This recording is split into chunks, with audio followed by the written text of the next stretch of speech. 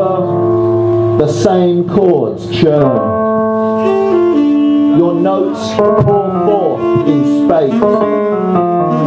Sheets of sound erupting till harmony is wrenched awry. When you sweat it out smack to cleanse your system, you are hell bent on an afterlife. A body refreshed, believing.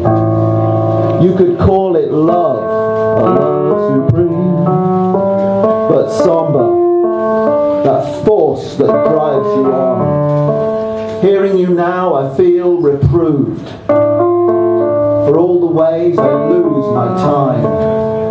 Books unread, the work I've left undone. But your gift is a fury. It's like a disease, a craving makes you blow. So who counts up the cost in pain? The candy bars and cokes consumed. Your aching teeth clamped in the embouchure.